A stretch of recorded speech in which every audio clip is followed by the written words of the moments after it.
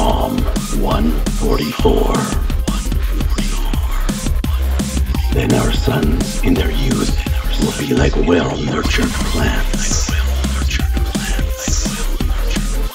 And our daughters will be like pillars carved to adorn a palace. Our barns will be filled with every kind of provision. Will increase by thousands, by tens of thousands in our fields. Our oxen will draw heavy loads. There will be no breaching of walls, no going into captivity. No cry of distress in our streets. Blessed is the people of whom this is true.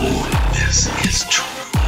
This is true. Blessed is the people whose God is the Lord. All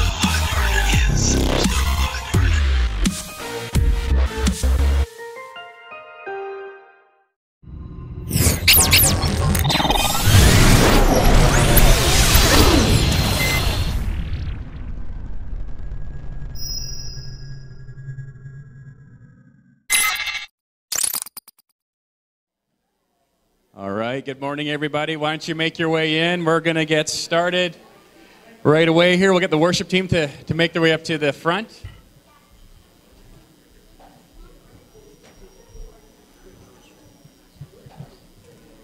It's a beautiful Sunday morning, and it's great to have you here with us. Why don't you stand before we get it in- into worship? David wrote and said, I will bless the Lord at all times. David wrote that in the wilderness as he was running for his life. In the natural, he didn't have any reason to bless the Lord. There was no imminent rescue coming for him. But he made a decision in that moment in the wilderness to say, I'm going to bless you, Lord, and your praise will be on my lips. I'm still believing, God.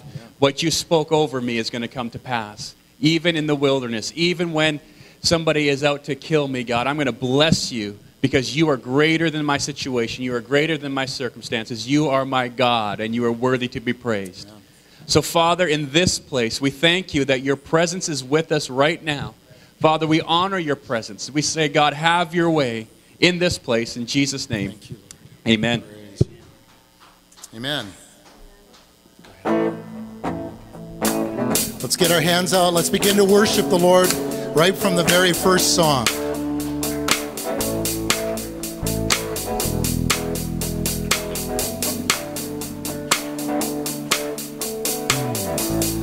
Blessed be your name in the land that is plentiful, where your streams of abundance flow.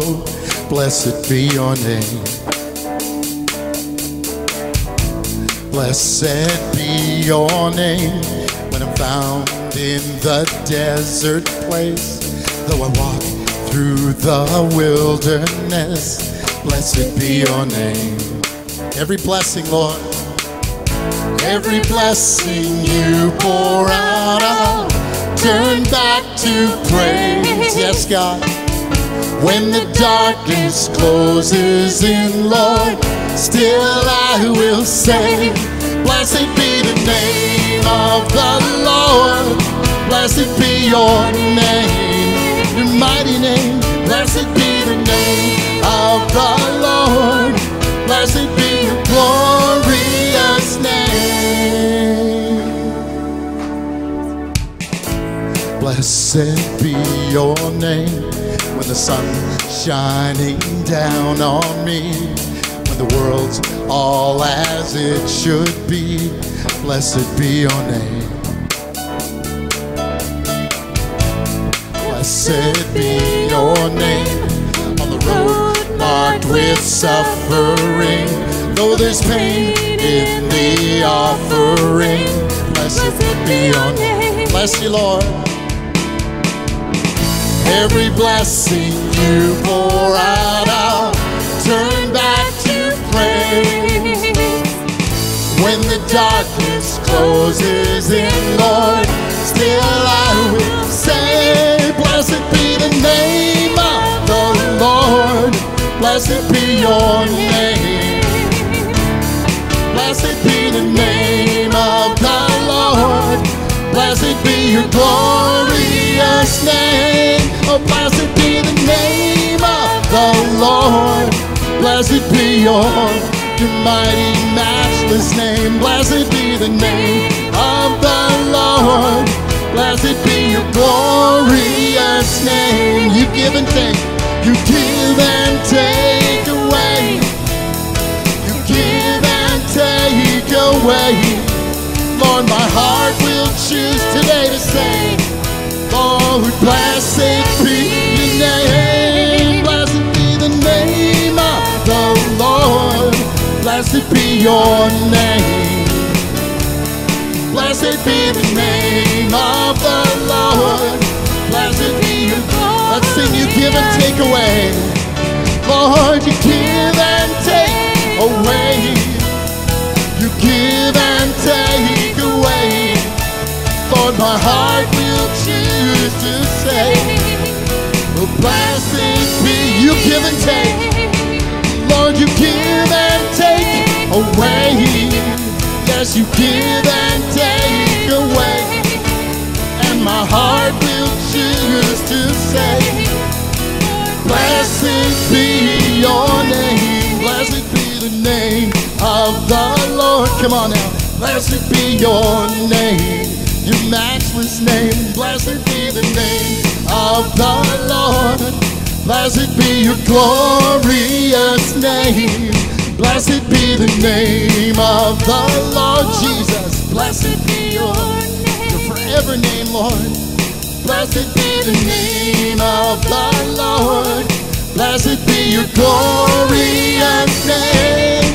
Blessed be the name of the Lord. Blessed be your name, your mighty name. Blessed be the name of Jesus. Blessed be your glorious name. Just say that name this morning. Jesus. Jesus, we come in your name. We have power. We have victory, Lord. We have a future. Lord, all because of your name, the power in that name, Lord. Hallelujah, Lord. Hallelujah. Because of that, we can't hold anything back in our worship. So today, let's open up. Let's open up our mouths, open up our hearts, open up our bodies, and move to the Lord today.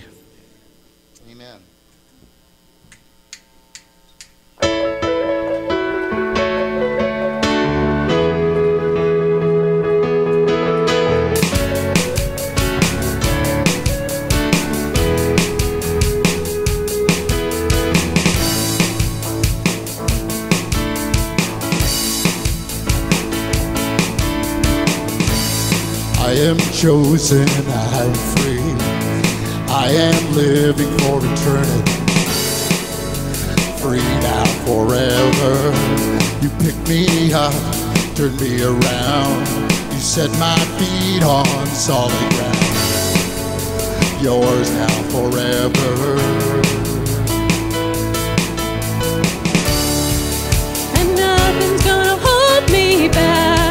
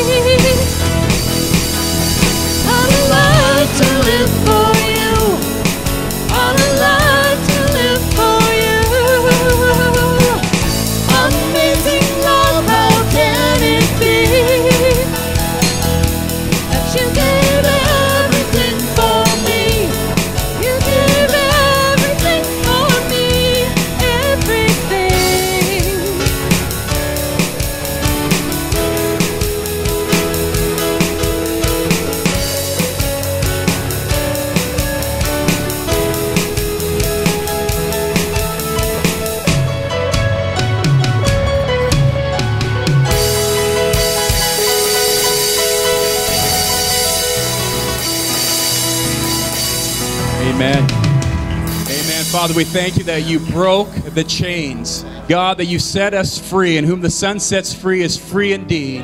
God, we pray that the freedom of the Lord would be in this place. And God, as we worship you and we seek you, God, that you would be blessed. At this time, we're just going to dismiss the younger children, ages three to six, for Children's Church. Father, we pray that you would bless them as they go.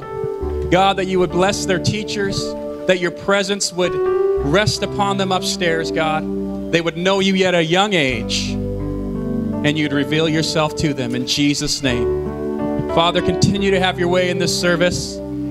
I'll be up later uh, in the service to dismiss the older kids after worship.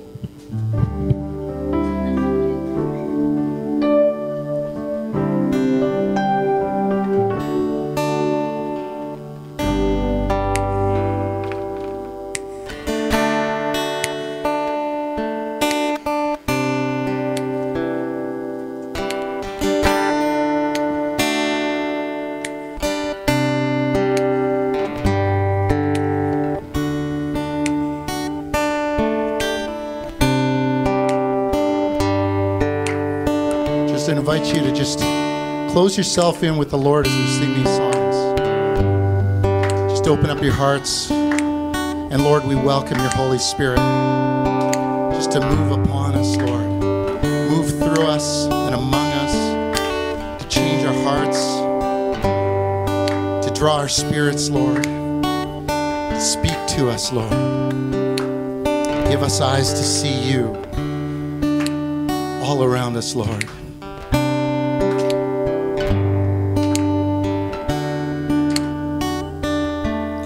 Give me eyes to see more of who you are.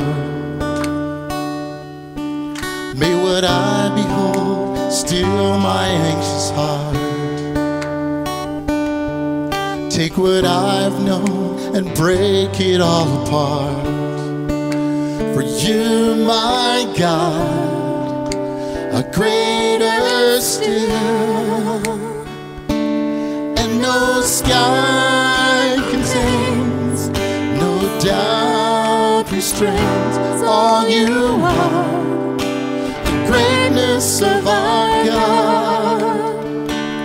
Spend my life to know, and I'm far from close to all you are. The greatness of our God.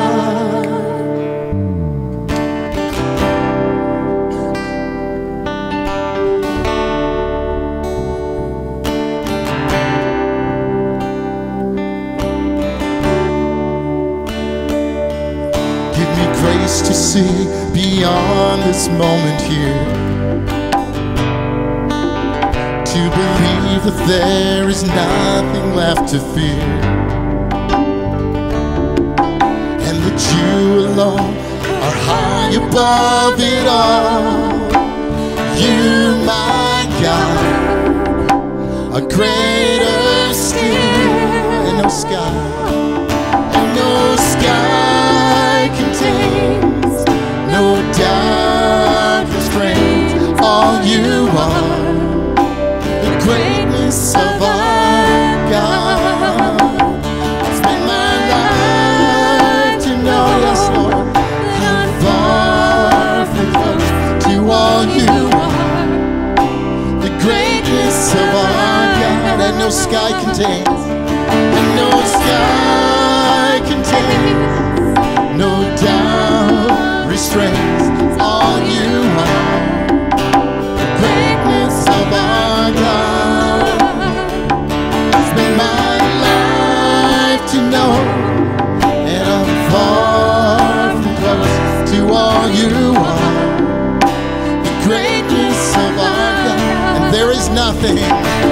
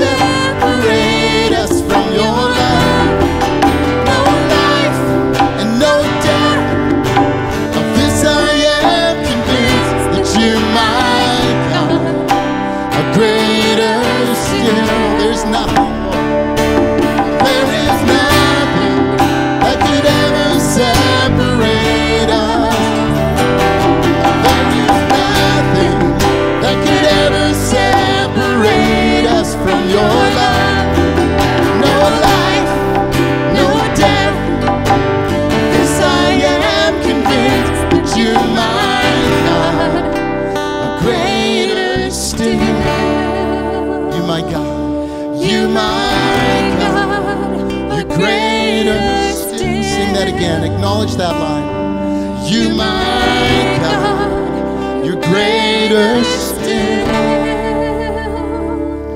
And no words can say or song convey all you are. You're greater, Lord.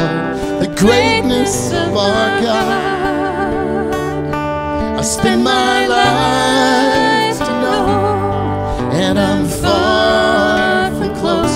all you are. The greatness of our God, and no sky, no, no sky contains, no doubt restrains all you are. The greatness of our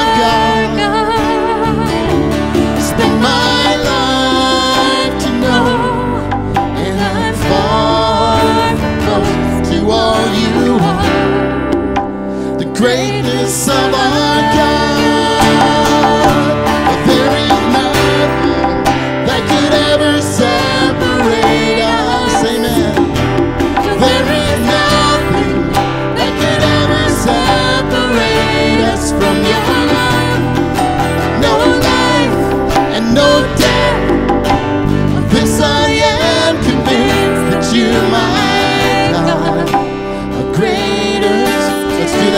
nothing, voices. there is nothing There is nothing that could ever separate us.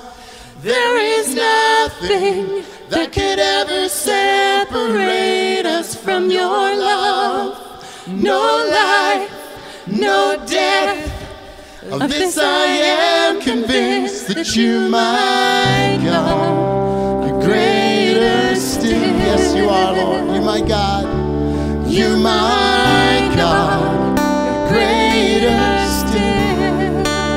My God. You, my God, you're greater still. Let's thank Him for that. Jesus, you're greater, Lord. Greater, Lord. Much greater. No life or death, Lord. Nothing can separate us, Lord. For your love is so great. Higher than the highest mountain. Deeper than the deepest sea, Lord. Praise you for your mercy, Lord. Praise you for your mercy, Lord. Open our hearts and eyes, Lord. Open our eyes to you, Lord. So give me eyes to see more of who you are. Amen. Amen. Hallelujah. Thank you, Jesus.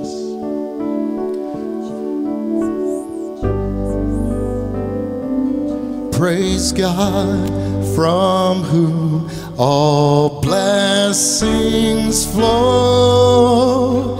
Praise Him, all creatures here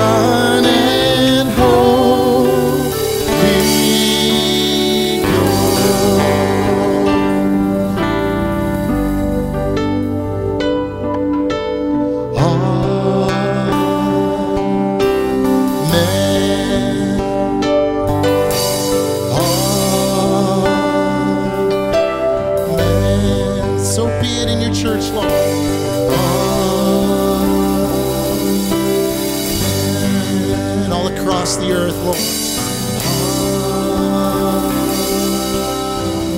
We lift your praises, Lord. Lift your praises.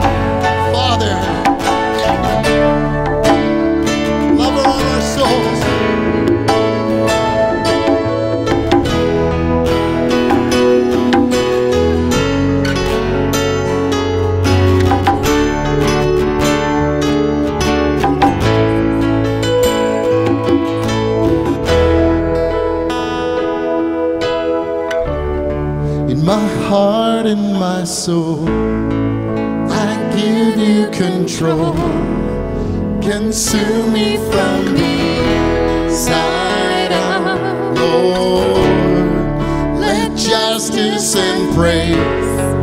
Become my embrace. To love you from the inside out everlasting.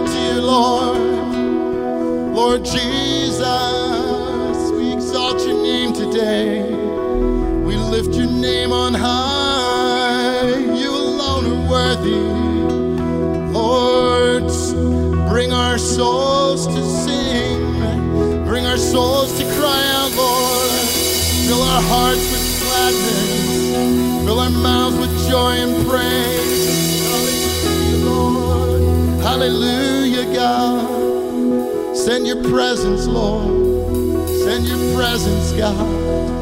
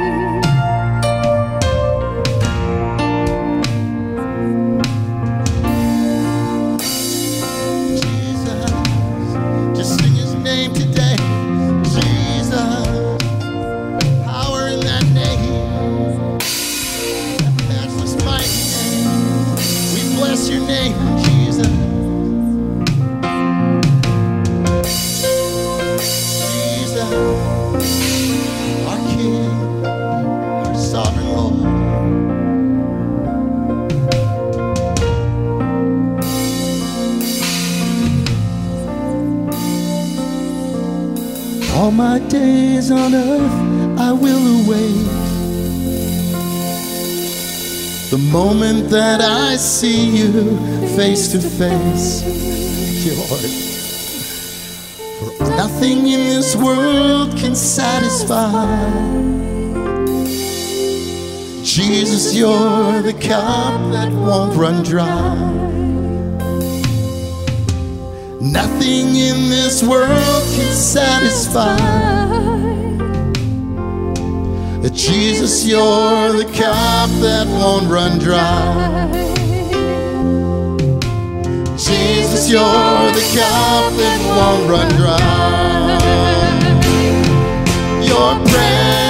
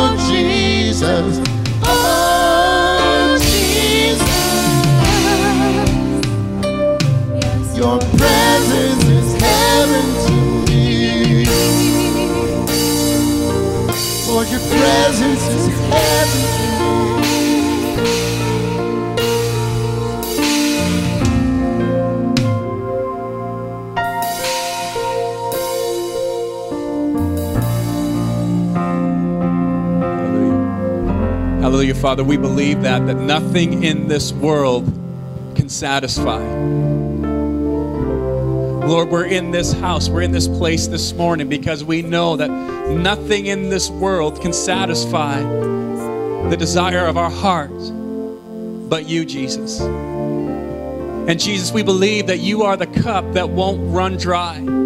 God, that you you are the first and the last, the beginning and the end. God, that you want to pour out your spirit on your people, God, so that we can go to the world and, and reveal your presence to them, reveal your spirit to them, God, because they're seeking and they're lost and they're searching for something, God. And we declare, Lord, that something that they need right now is your presence. And God, we just make ourselves available to you. God, reveal, help us to understand your presence. Help us to understand the power of your presence, the power of being your people, God. We want to be disciples that go into the world, heal the sick, raise the dead, uh, cast out demons, God. And we need your presence, your manifest presence to go before us.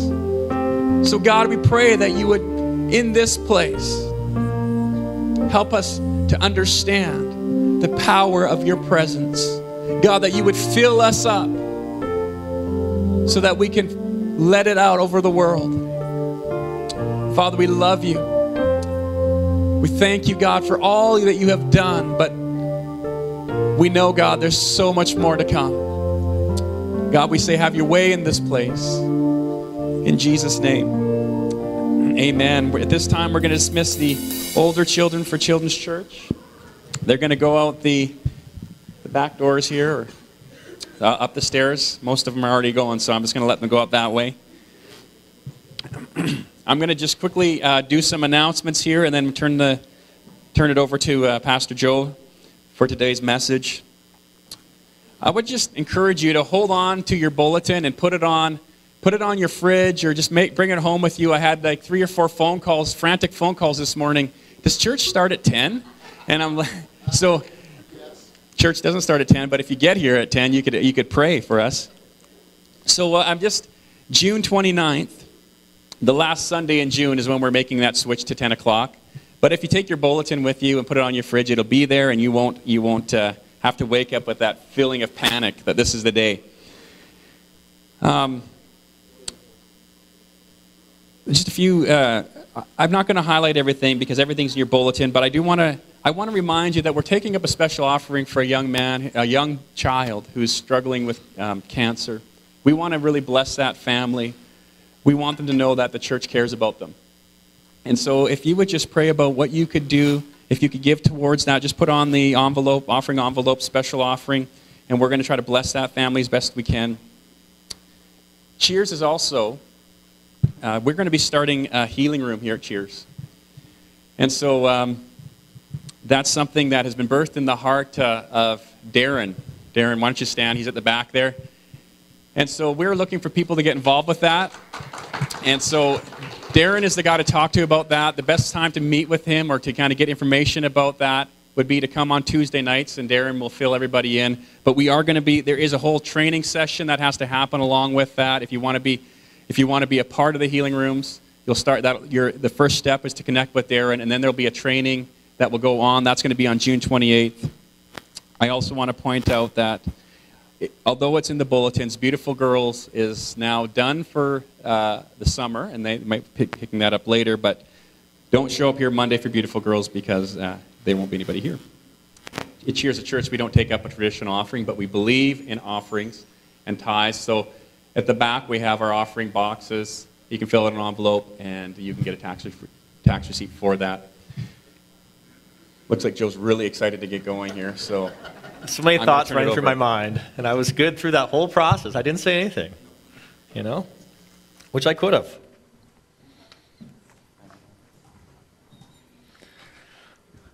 Good morning, cheers. Ah, It's a sunny day outside. I just love living in Penticton. There are some times where it's just a great place to be. Um, we grew up in Cornell. It's a great place to be from.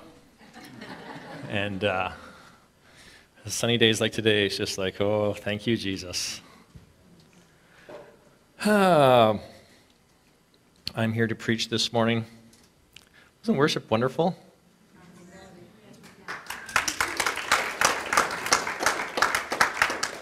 Thank you. I quite enjoyed it. And I feel all uh, out of it a little bit, so I'm just trying to gather my thoughts here this morning.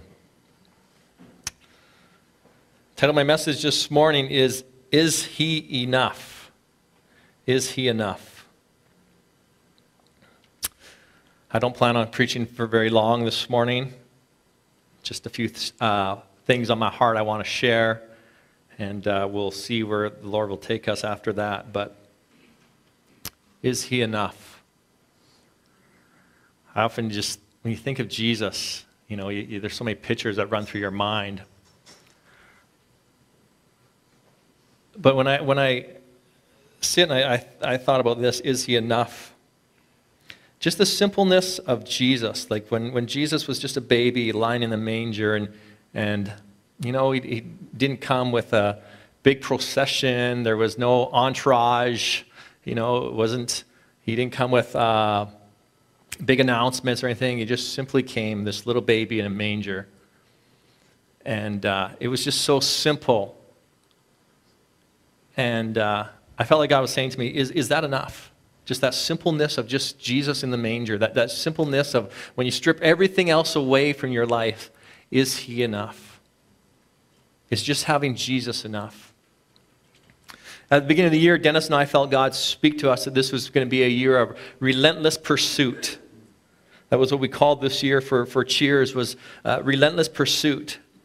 That we need to continue and with abandon go after the presence of God that we cannot let up, that we cannot step back, that we cannot be content with what we have, that we cannot be content with what we have experienced. That God was calling us on to a deeper place beyond what we have known, to, to a place of, of surrendering of our will, to a place of dependency on Him. That God was calling us to go to a, to a, a, deeper level uh, of experience with Him, a, a deeper, uh, just a, a deeper place with Him, where we would not just be okay with what we've experienced so far, but there would be something in us that would say, No, I, I want something more. It's not okay with, with just coming and showing up on a Sunday morning. It's not okay with just doing my, my by religious traditions, but there's, there's something more, and that, that there would be a, a hunger in us that would drive us in this relentless pursuit that would say, I'm going after God, and I'm not content just to be in, church every Sunday and, and just have a nice, comfortable life. Oh, don't start yet because there's way more coming the, a place of dependency on Him to see His kingdom, to see His presence established in, in our midst. See, I believe what been going on is God has been whetting our appetites to build hunger in us, expectation, desire for more. I shared this verse the other day and I just love it. It says, Proverbs 16 26, the appetite of laborers works for them, their hunger drives them on. The appetite of the laborer works for them, their hunger drives them on. See, your appetite works for you, it causes you to want more, it causes you not to be satisfied with where you're at, it, it, it leaves you unsatisfied, it'll push you to go beyond where you've been. Bless, uh, Matthew 5 6 is blessed are those who are hungry and thirst for righteousness, for they will be filled. See, there's something about us in, in, in hunger for God that God loves. There's something about us as a people that we kind of have to stir ourselves up and say, No, I'm, I'm hungry for more. I'm not content because I, I really believe that choice is ours. Are you content with what you have? Are you content with the level of God in your life? Or is there something in you? Are, are you just going, No, you know what? I, I'm just, this is not okay. It's not okay just to to have a nice house and, and a good job and, and, and, and coast through to retirement. It's not okay just to, just to bring my kids to church so they have some Christian education. If there's got to be something more. There's got to be something of God that, that, that, that, will, that I just need, that, that I'm just not content and not okay with what there is in my life. I, it doesn't matter how long you've been in church. It doesn't matter uh, how long you've, you've grown up in church. It doesn't matter what you've known of, of, of God. That, that, that still still, there's always that more. And I believe God is saying if you're hungry for it, if you're willing to go after it, if, if you're willing to just say, you know, no to all of this and, and yes to this, that God is going to release and He wants to release His glory in you. You have to want more to get more. We have to make room for the more of God in our lives. We have to desire more to see the more. Understand the deeper thing, things of God have to be birthed out of our spirit, they have to be released in the natural. I like this in, in Elijah. This happened with Elijah in 1 King 18, verse 41. And Elijah said to Ahab, Go eat and drink, for there is the sound of a heavy rain. So Ahab went off to eat and drink, but Elijah climbed to the top of Carmel, bent down on the ground, and put his face between his knees. Go and look towards the sea, he told his servant, and he went up and looked. There is nothing there, he said. Seven times Elijah said, Go back. The seventh time, the servants respo- reported, A cloud as small as a man's hand is rising from the sea. So Elijah said, Go and tell Ahab, hitch up your chariot and go down before the rain stops you. Meanwhile, the sky grew black with clouds, and the wind rose. A heavy rain started to fall. And Ahab rode off. See, Elijah had to hear it in his spirit before he saw it in the natural. The Bible says he heard the, the sound of heavy rain. In the midst of the drought, in the midst of in dryness, he heard it before he, ever, before he ever saw it happen. You see, something had to come alive in his spirit first. He had to hear with his spirit before he would see it released in the natural. And I believe what God is, is saying to us, you got to hear it in your spirit first. You, you got you to hear my voice speak to you first. It comes from your spirit first. Before you see it released in the natural, Elijah, before you see the rain fall, you got to hear it in your spirit first. You got to grab a hold of it in your spirit first. See, are you hearing with your spirit this morning? Because God is looking for those that would hear with their spirit, that would go beyond the natural. Elijah, he, he heard the sound of heavy rain. In the midst of a drought, three years without rain, in the, in the midst of this dry place, yet he heard the sound of heavy rain. And then what did Elijah do? He prophesied. This is going to happen. Look for it, he says. What? You don't see it? Look again. And again. Go back again. Seven times. He says, persist in this. Contend for this. Till they saw a small cloud. And in that moment, Elijah knew it was done. Yeah, it was small, it was just a small cloud. But eh, when it hasn't rained in, in three years, a small cloud is very significant. When the, when the land's been dry, when there's a drought, even a small cloud is significant. And you have to be able to recognize the season. You have to be able to recognize the signs that are upon you. And I'm telling you, it may have just been a small cloud, but after three years of no clouds, it meant something. And Elijah knew this, and that's, and that's what he was looking for. And when he saw the cloud, he says, Tell them to hitch up their chariot. I'm telling you, there's a storm coming. Yeah, it's just a small cloud, and you, you, it doesn't look very significant, but it means everything in the midst of a drought. And I believe God is saying to us as a church, you know, it's just a small thing that's happening. There's just a little bit of God's presence that's being developed and formed over this place and in our lives. But He's saying, Do you recognize what's going on in a land of dryness, in a land of drought? It, there's a cloud, there's a cloud, there's a cloud gathering on the horizons. And God is saying to His people, If you will see that cloud, if you're willing to recognize what's going on, you're going to see a rain come.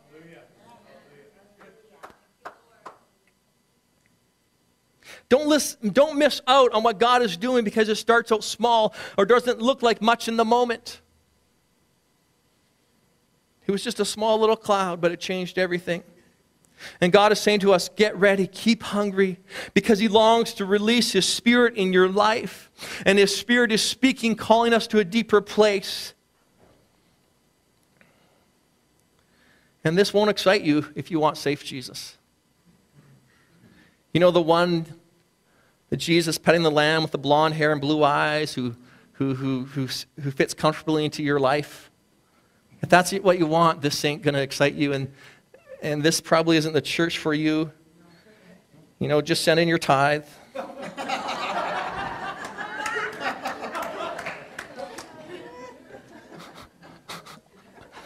didn't think it was that funny. But if you want the Jesus that turned over the tables, If you want the Jesus that stood against the religious system, if you want the Jesus that took on a legion of demons, if you want the Jesus that caused dead men to live, if you want the Jesus that made blind eyes see and who said greater things that, than these you will do, that, then, then, that, then this idea of relentless pursuit is for you. If you want that Jesus that spoke to death and said, Death, you are defeated. If you want that Jesus that stood against the, the, the religious Pharisees and said, No, if you want the Jesus that, that, that, that stood against the oppressions of hell and said, Set my people, they will be free. If you want the Jesus, then relentless pursuit is for you. But see, it doesn't just happen by whimsical thinking. It doesn't just happen because I show up once in a while. It doesn't just happen. It's, there's a, it takes place in your heart. It's birthed out your spirit that says, No, I'm hungry for something more. I'm hungry because I see the brokenness of this world and, and they aren't being satisfied. And I just see brokenness and brokenness and brokenness. And it's only Jesus that'll fix it.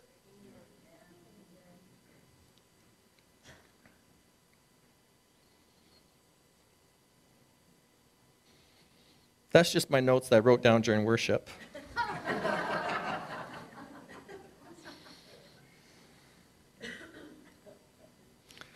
you know what's exciting? I believe we're seeing the beginning of the presence being released. Clouds are gathering. People are walking in here and they're commenting on how they feel God's presence. And that's before the worship starts or the preaching begins. We have 50 people at prayer. That's the presence. We have Teen Challenge guys driving an hour and a half one way to pray with us. That's the presence. We have people getting healed.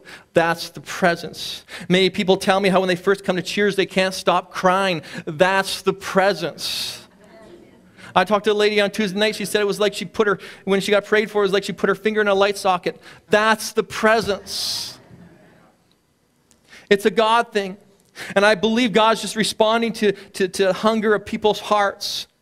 It's, it's not, it has nothing to do with us. It's, it's not because we got this or that. It's not because we're good preachers or good worship teams or, or we have great structures or systems. It's simply because there's a people who have come together that have said, I want something more. There's a people that have gathered together and said, you know, let's go after this. Let's push into this. Let's allow this to, to, to permeate our lives. Let's make our lives about this, not about some fancy vision statement, not about just some, some, some, some fancy looking church with all these, these great things. I'm not against that, but there's got to be something more. And I believe that we're on the verge because God is hearing the cry of our hearts. And if we continue to stay hungry, if we continue to pursue it, if we continue to say, this, it's only this, and it's only this, and it's only His presence, then I believe God's going to respond.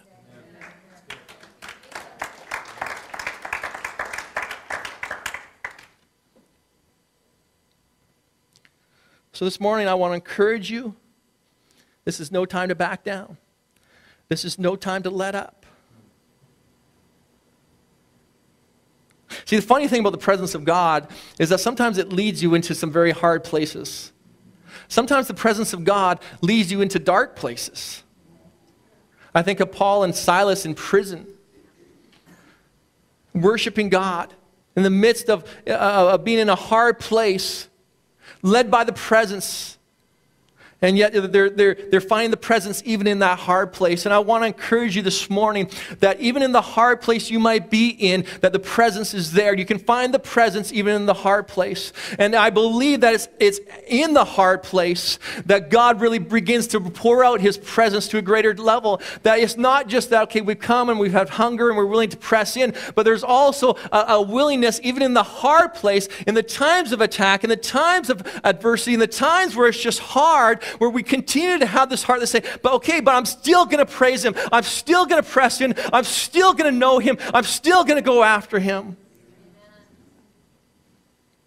So keep pressing in, stay hungry, be open, because this is just the beginning. But I also feel, and this is really my message this morning, like God wants to challenge our hearts in the area of motivation when it comes to God's presence. See, the presence brings a lot of excitement and great things with it.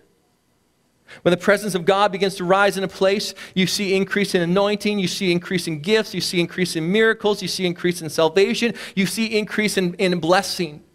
And so this is part of what will, what will happen the more that we get into this, the more God's presence begin to settle over our lives. We're going to see these increases in our lives. And that's a great thing.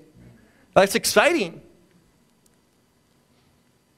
We know this because when Jesus showed up, his presence released the supernatural. Jesus didn't just preach good messages and he didn't just give five steps to success. He didn't just do good deeds. His life, his ministry was marked by the supernatural. It was a common theme to his life. When Jesus showed up, it, it, began to, the presence began to release. As, as he showed up, wherever he went, there was this release of the supernatural as well. And, and when he went to the Father, his disciples, like us, had the presence of the Holy Spirit. And what followed in their lives was a release of the supernatural, was a release of the anointing, was a release of all the things that come with the presence. In Acts 2, it says they devoted themselves to the apostles' teachings and to fellowship, to the breaking of bread and prayer. Everyone was filled with awe at the many wonders and signs performed by the apostles. See, when the presence rises, the gifts and the anointing and, and, and all the things with it also begin to rise. The supernatural was common in the early church as they lived their lives in, in openness to God's presence. These simple men who just embraced what God wanted to do in their lives and through their lives, they saw and experienced the power of God.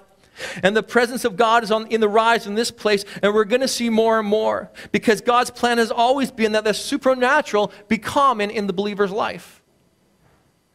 That's, that's how your life is to operate as a Christian. As a Christian, you're to have the supernatural in your life.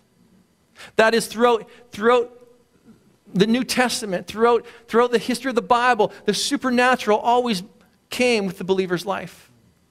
That is the common theme and it needs to be common in our lives.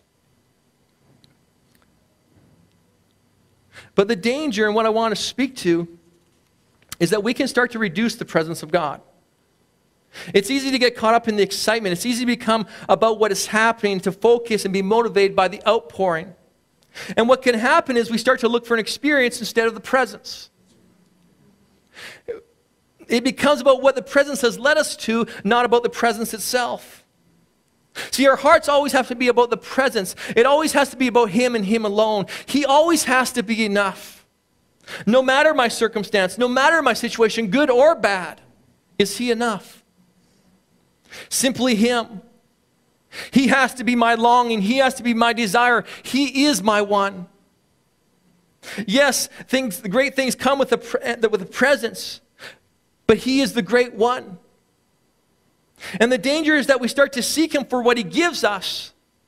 What we can get out of that relationship, not seeking Him because we're in love. In Acts 8, we have the story of Simon the sorcerer.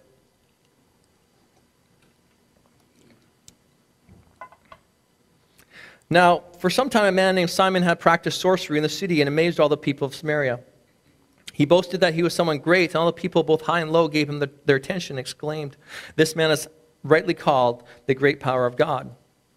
They followed him because he had amazed them for a long time with his sorcery. But when they believed Philip as he proclaimed the good news of the kingdom of God in the name of Jesus Christ, they were baptized, both men and women.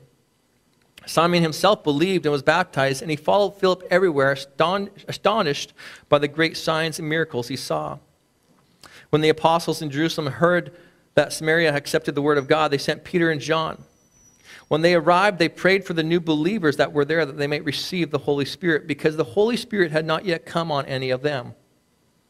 They had simply been baptized in the name of the Lord Jesus. Then Peter and John placed their hands on them and they received the Holy Spirit.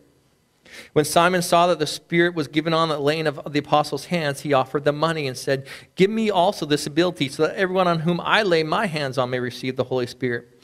Peter answered, May your money perish with you, because you thought you could buy the gift of God with money. You have no part or share in this ministry, because your heart is not right before, the, before God. Repent of the wickedness and pray the, the Lord in the hope that he might forgive you for having such a thought in your heart. For I see that you are full of bitterness and captive to sin. There's many truths in this story, but what I want to focus on is just how Simon's heart was motivated by the wrong thing. Simon is a man, and he's had a real experience with God. He's come to this place of salvation. And now he sees the power of God. And the Bible says he's following Philip around, astonished at the signs and wonders. He's impressed. He likes what he sees. I mean, it's amazing. And he wants, he wants to be in on it. He wants more of the power. He wants the gift. So he offers money. He offers what he has. And Peter comes down, down on him. He gets upset with Simon. And he tells Simon that his issue is that his heart is not right before God. It was a heart issue for Simon. It was about what was motivating his heart. His motive was the gift, not the presence. He wasn't seeking God, but he wanted the power. It was all about what he could get. It was all about, the, about being a person of power. It was, it was about being recognized. He saw the Holy Spirit as a means to an end, something to be used. And it wasn't even that, that his, his, his intentions were, were bad.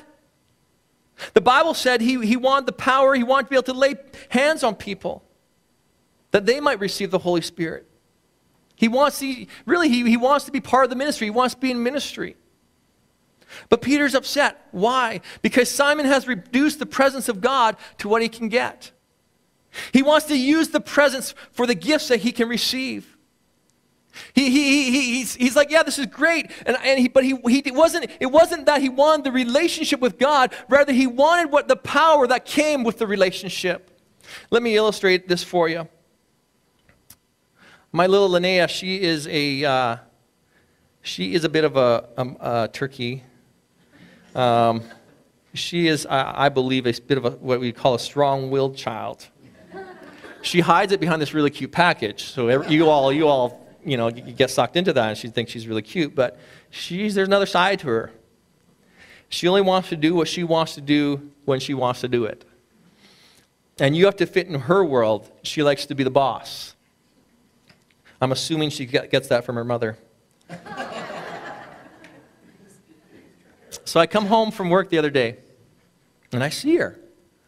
You know, I've been gone all day. You know, she should want to run into my arms and greet daddy. and so I'm like, Linnea, give daddy a hug. And she says her favorite word as she runs away from me no. So I say, Linnea, give daddy a kiss. Again, no.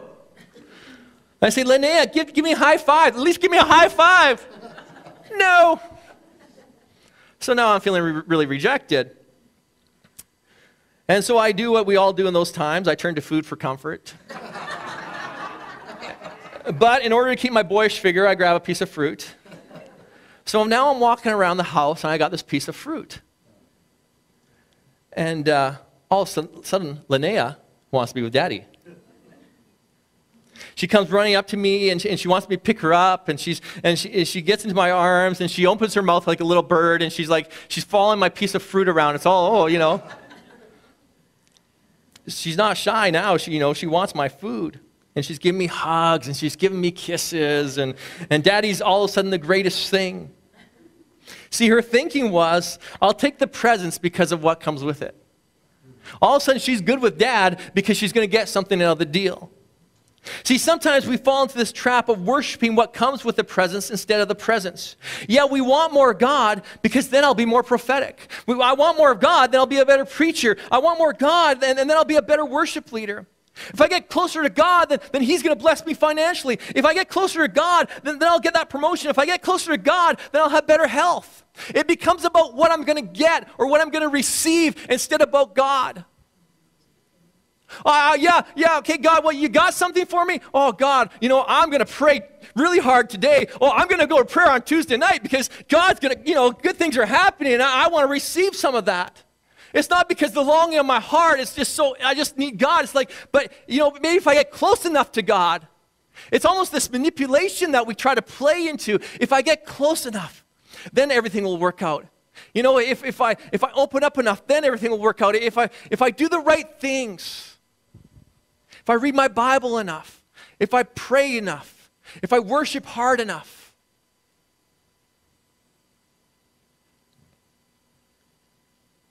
And it's, it's not that these are bad things. Yes, I, you know, I, great. I want you, we should all prophet, prophesy. We should all be great preachers and, and great worship leaders. And I hope you're all blessed financially. But when we, but when we try to end, uh, manipulate God with our good behavior, impress Him with our dedication, it becomes a work driven behavior. Look at me, look at me, God.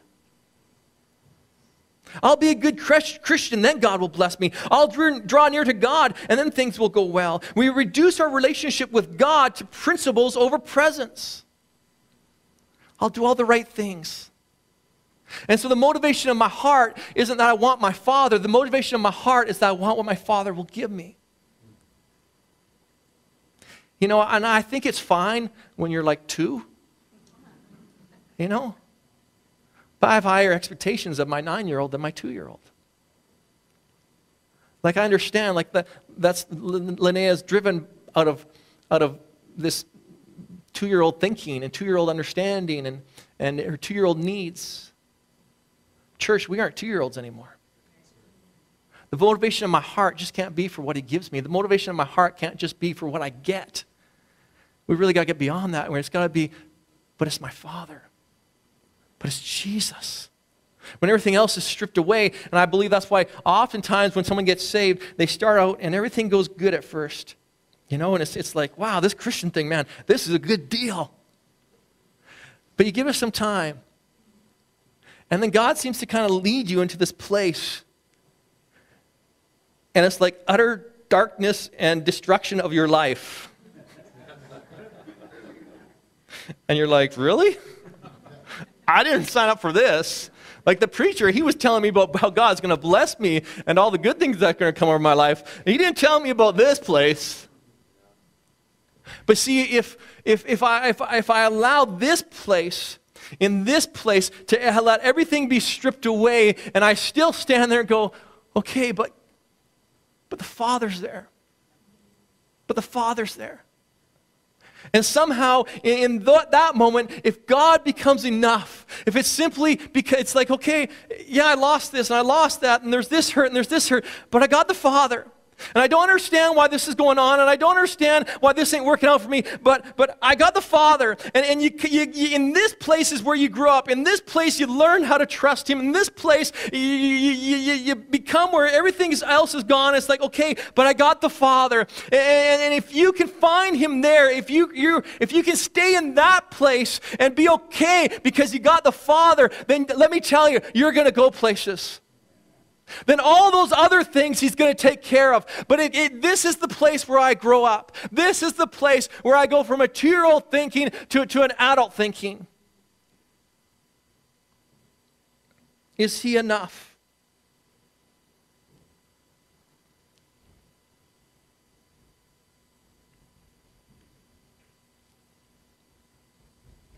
Our focus cannot become what we get or what we're after. It's got to be on that love relationship with the King. Listen, God doesn't want to be second place in your life to anyone or anything. That includes your ministry, that includes your gifting, that includes your anointing, that includes His blessing. So you have to ask yourself what is your motivation? How do you see God in your life? Is He your lover or your sugar daddy? See, that one was funny. I appreciate that. You know, what's a sugar daddy? Like people who have sugar daddies, they're just using their. Let's not, actually let's not go there.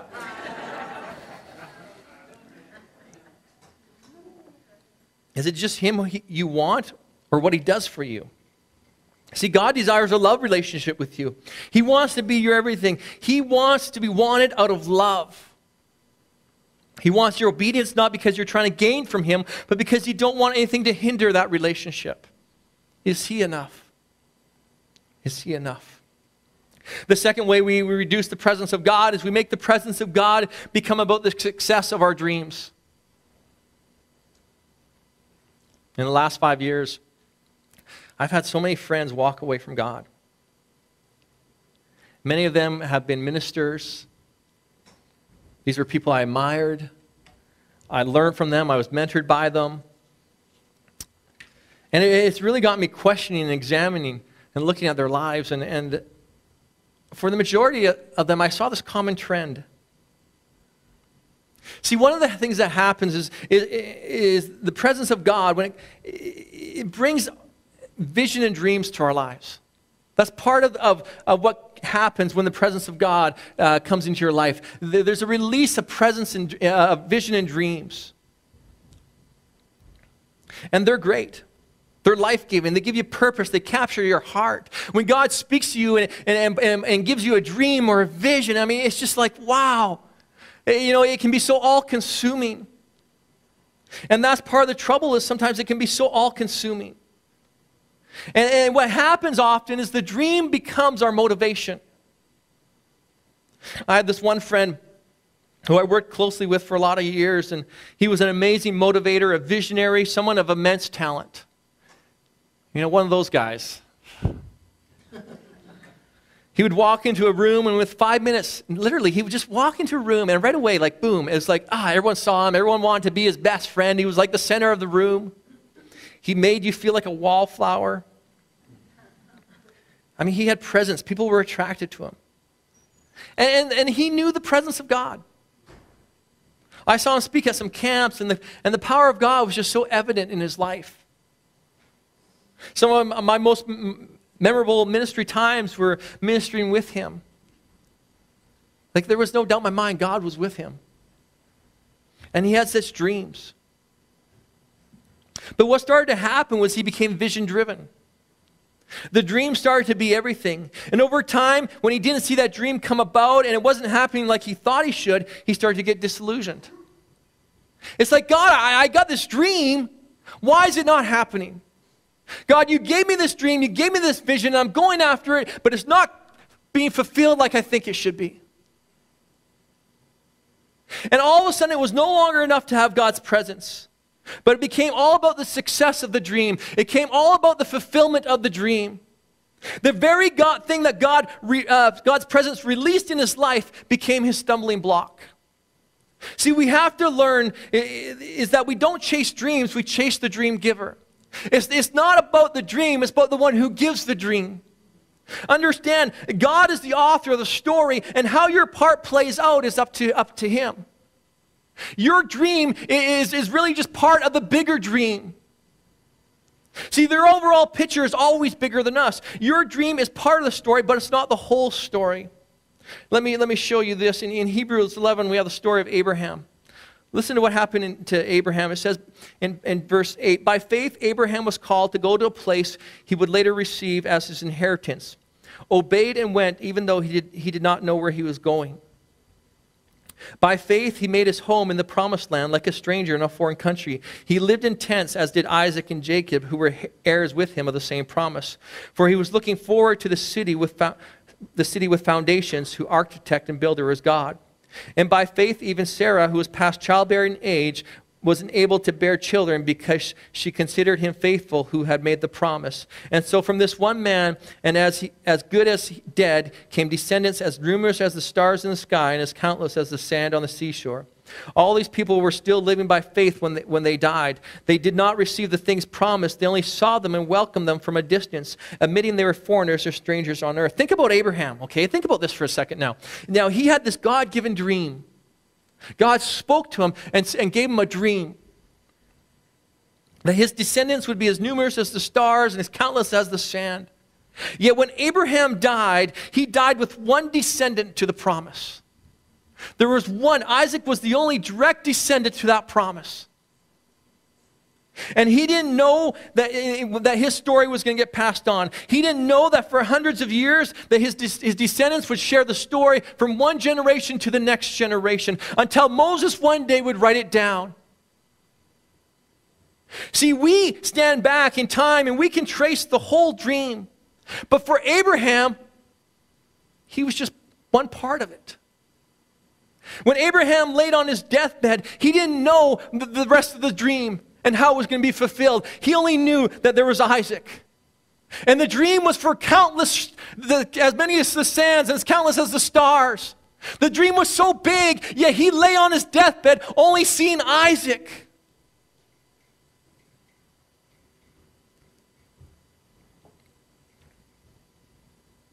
See, I believe that Abraham was motivated by the presence, not the success. That's why he was willing to sacrifice Isaac on the altar, because he knew that having God, being obedient to God, was more important than having a dream fulfilled. See, Abraham wasn't chasing a dream, he was chasing God. And, but when we reduce the presence of God to just a dream or a, a vision, then that becomes our everything. Like you don't know the rest of the story.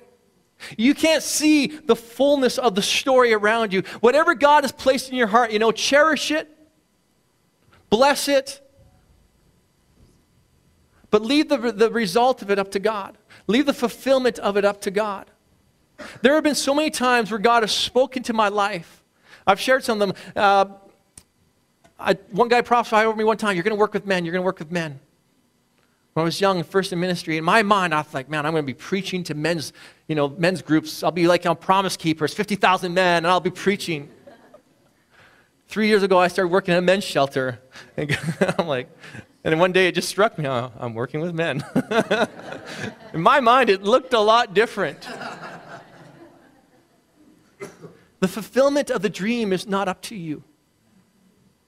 And if you become so dream driven, so vision driven, and that becomes the everything, then you're going to miss out on what God wants to do in you and through you. And you, it, it, I'll tell the Bible says hope deferred makes the heart sick. That's hope deferred because your hope is in something that's not correct. Your hope is in the dream, not the dream giver. If your hope remains in God, if your hope remains in, in just His presence, if, if and, and I, you know, I often do this. I, I when I'm in the mornings i go to my office and i just i have a time alone with god and it's just me and god and i i, I often just even say it. I say, God, you know, everything else, right now, everything else is gone, God. You know, I'm in this office. No one cares about me. No one knows me. I, am I'm a nobody in this moment. I'm not pastor. I'm not a, a leader. I'm, I'm nothing. I'm just your son in this moment. And God, in this moment, you are enough. God, in this moment, Lord, I just want you in this moment. And it, I, I, when, when, because the thing is, you have to be able to strip everything else away and, and have those moments where it's like, okay, God, it's just enough because I have you.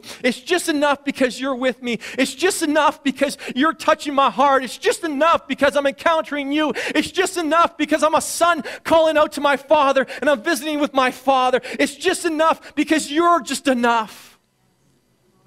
And you have to find that place in your life where everything else gets stripped away. And, and, and it's not about you prophesying. It's not about you speaking out. It's not about you, you leading in a ministry. It's not about, about what God's doing in your life. It's not about the, the blessings. It's, it's simply because you're with the Father. So many friends I've seen walk this path and become so vision driven and so dream driven, so success orientated. And then when it doesn't happen, then what? You placed your hope, you placed your, your, your, your, your, your, your whole believing and your whole dreaming into this instead of Him. Dreams are great. I love dreams. I got big dreams. I got all kinds of dreams. Sometimes I wish I could just shut up because there's just, my wife gets tired of hearing because, oh, I got this dream. We should, you know, everything's a big dream to me. I can't just stop at like, you know, let's just have a nice car and a nice house. No, let's have like a truck and a motorcycle and a, and a man. You know, like it's always got to be bigger and better. It's just like, but strip all that away. What about God? Where is God? Is, is, is He enough? Is He enough?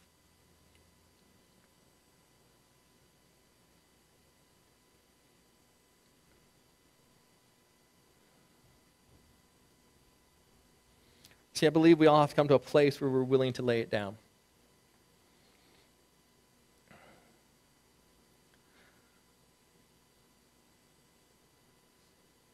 I believe God always takes us to that, that place where it's like, you know, I thought this, but if that's not happening. I just have to be able to lay it down. I have to lay down that dream.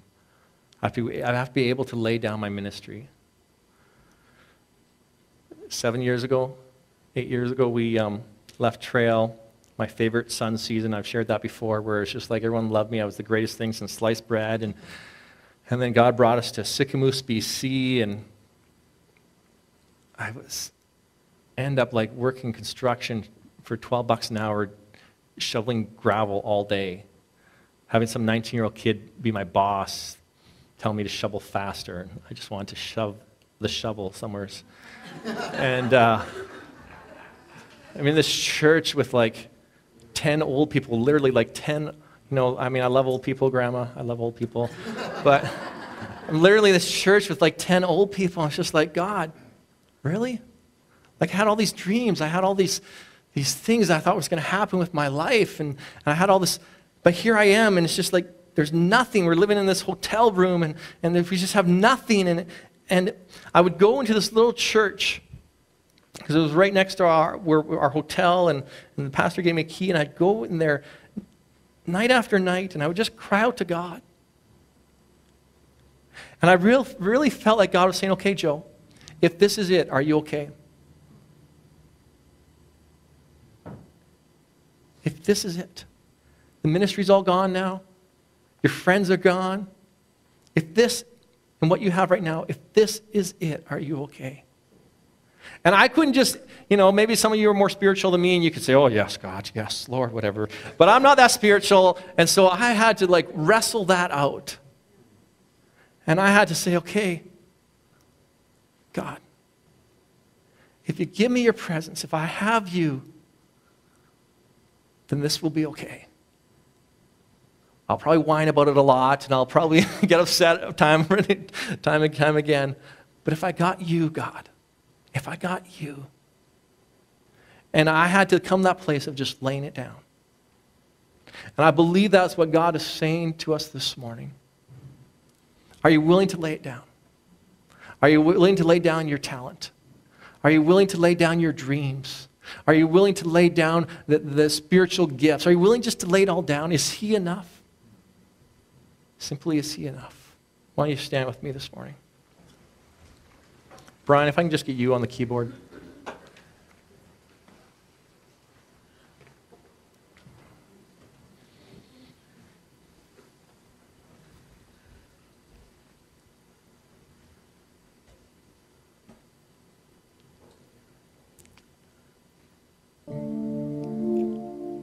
Just take a moment with God this morning. Start looking at your life. Maybe it's a relationship. Are you willing to lay it down? Maybe it's a job.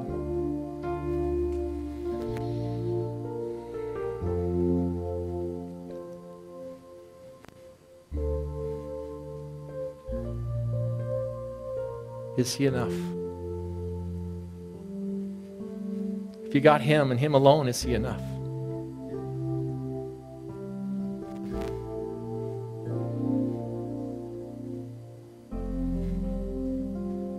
Look at the motivation of your heart this morning.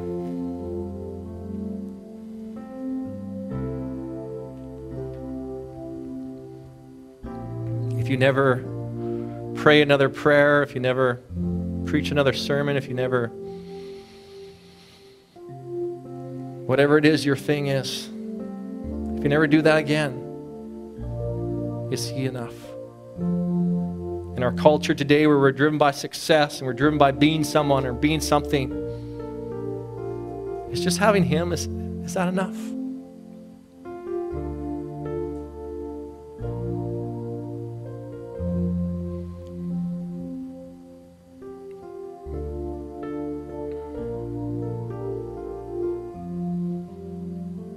Father, this morning we come before you, God. Lord, we confess at times, Lord, I confess at times that it becomes about the dream.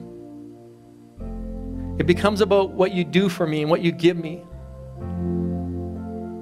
Lord, I pray that you would just give us that simple child heart that just wants to be with the Father.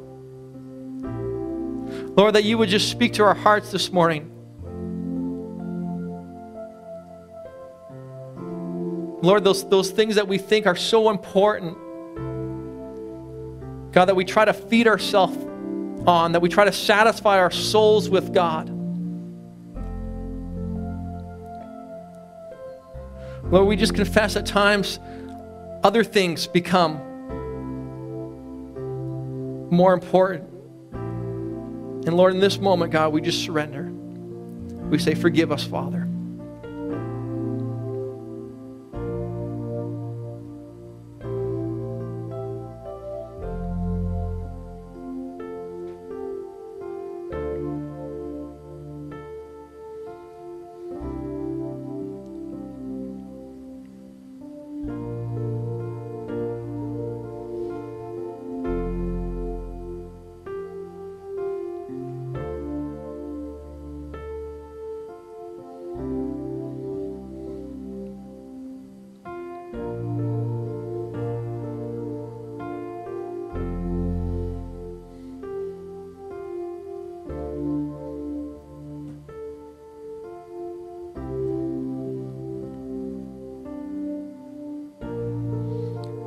and ask the rest of the worship team, why don't you come?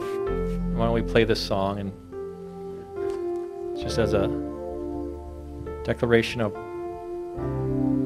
over our life, declaration of truth in our hearts that His presence is enough.